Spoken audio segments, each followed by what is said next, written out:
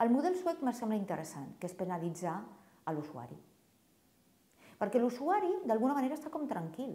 Entre que li posen bordells, home, si s'ha accedit a posar un macrobordell, vol dir que ha passat, l'Ajuntament ha, ha donat aquests espais, ha permès la construcció. No s'oblidi vostè que quan vostè està aparentment consumint un servei de prostitució, de sexe, de carretera, el que està realment fent vostè és traficar amb el cos d'una dona que segurament voldria estar en una altra situació legal i emocional.